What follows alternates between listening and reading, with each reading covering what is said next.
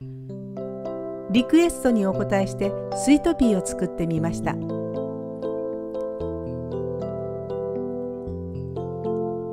形を考えながら試作していきました。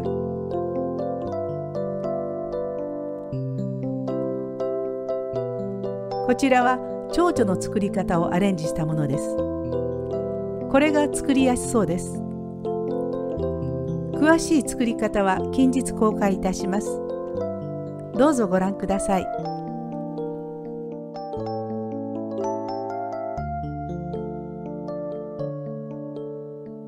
うん。